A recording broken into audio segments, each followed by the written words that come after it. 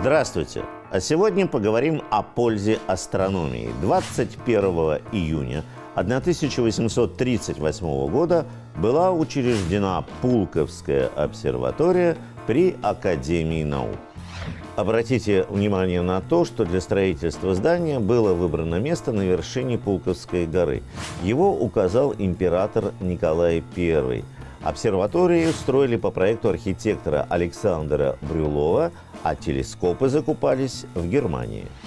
В августе 1839 года Пулковская обсерватория была открыта. Ее первым директором стал немецко-русский астроном Василий Яковлевич Струве – на тот момент в ней работали всего 7 человек. Сегодня в штате Пулковской обсерватории трудятся 263 научных сотрудника. 21 июня 1900 года из Кронштадта на поиски мифической земли Санникова отправилась экспедиция под руководством Эдуарда Толя – Обратите внимание на то, что экспедиция отправилась на шхуне «Заря», которая в том же году достигла полуострова Таймыр. Отсюда путешественники пытались пробиться далее на север к предполагаемой земле Санникова, но потерпели неудачу. Самому Эдуарду Толю эти поиски стоили жизни. Он пропал без вести в 1902 году. Память об этой истории можно обнаружить в научно-фантастическом романе академика Владимира Обручева «Земля Санникова», изданного в 1926 году.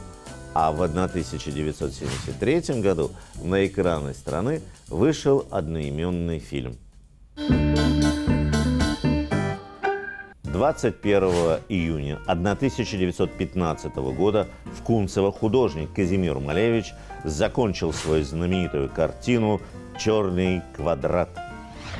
Обратите внимание на то, что это полотно считается иконой мирового авангарда, явлением супрематизма. Но мы откроем вам маленькую тайну. Дело в том, что Казимир Малевич исполнил еще три реплики своего черного квадрата.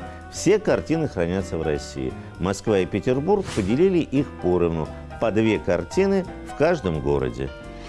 О памяти Казимире Малевиче хранит мемориальная доска, установленная на фасаде одного из домов на Исаакиевской площади, и улица его имени в одном из поселков Ленинградской области.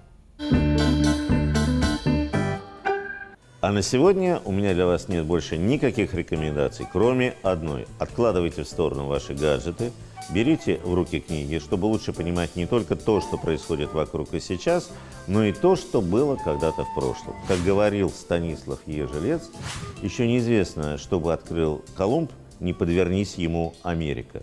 До новых встреч!